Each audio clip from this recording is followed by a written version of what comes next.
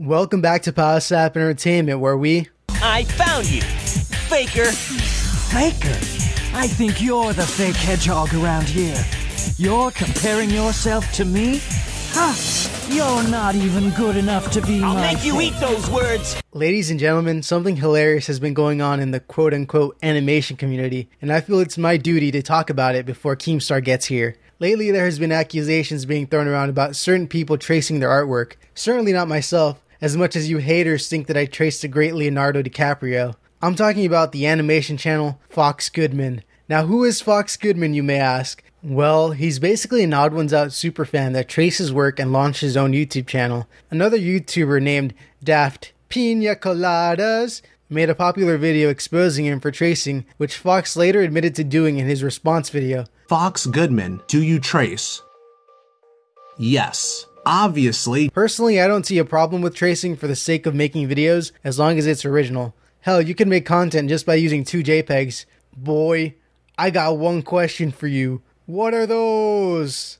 Hey, where's your backbone? Okay, I'm done with this skit. The problem lies in monetizing an image, claiming it as your own, and making a profit off of it. The best way I can describe this is like the difference between Weird Al making a parody song of Michael Jackson and somebody pretending to be Michael Jackson.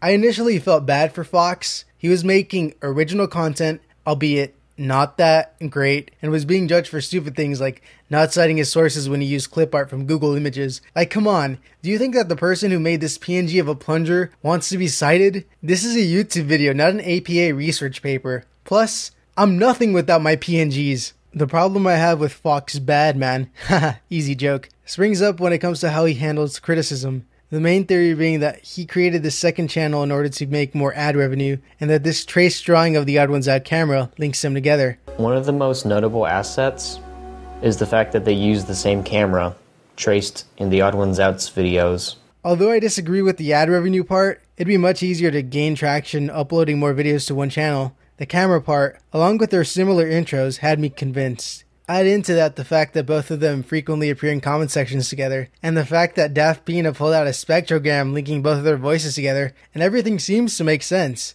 Now, if I were Fox Goodman, what I would respond with would be, Nah, dog, I'm not Matt Spicer. You guys are blowing this out of proportion. I just like making videos for fun. Plus, here's a video of me and Matt hanging out and saying words. That's it. But somehow he managed to make the situation even worse. And this is where things get hilarious. Not only did he deny the accusations, he basically deflected the question by calling the evidence pointless. for all the tinfoil hat conspiracy theorists out there who rely on stuff like the spectrogram and comparing frequencies, it's 100% false. Your Honor, I did not commit the murder. Just because there's eyewitness testimony and blood samples doesn't mean that I did anything. Those detectives are just haters, and all of my real jurors will support me. I'll kill you! I'll kill you if you disagree with me! It gets even better. Fox Goodman calls out the world's greatest conspiracy theorist. I'm putting out an open challenge to the biggest conspiracy theorist out there, and he knows who he is. by which he means Daft Pina, and challenges him to find undeniable proof that he is Matt Spicer. The end result being that he will delete his channel if he succeeds. First of all, how dare you disrespect Shane Dawson like that? And second of all, did I forget to mention that he wants $100,000 to pull this off? That's not a joke. Watch the video. This is why I want to raise $100,000 out of this GoFundMe. Have you ever heard of Skype?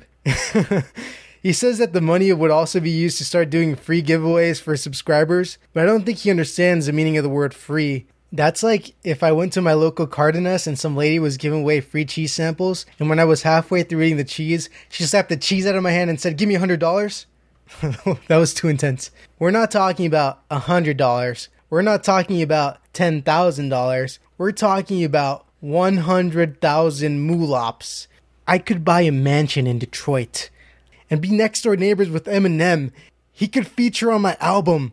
To his defense, though, I haven't seen a link to his GoFundMe page, so maybe he just forgot or he just said that to get attention, which is genius since you clicked on this video and I felt passionate enough to make it. That would also help to explain why he wants staff to make a response video and wants the odd ones out to desperately comment on the situation. But we're forgetting about the most important person's opinion about this whole entire thing, and that's the odd ones out himself. Which I don't think he has to. The dude is making kids happy with his book. This is for smaller, dirty YouTubers that are trying to get money to buy a Nintendo Switch. All that.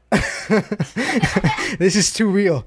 Nobody expose me. All that I really want answered is whether or not they're the same person, and for him to switch up his art style a little bit, just like he did in his response video. Hell, I'm a nice guy too, so I'll do a face reveal for half the amount of money.